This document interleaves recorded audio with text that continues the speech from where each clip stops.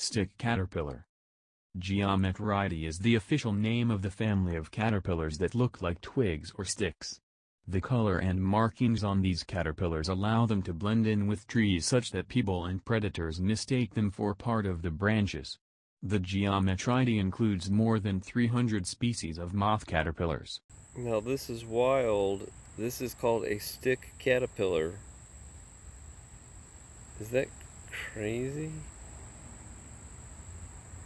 it's on a euonymus and actually mimics the buds. And you wouldn't even know it was here.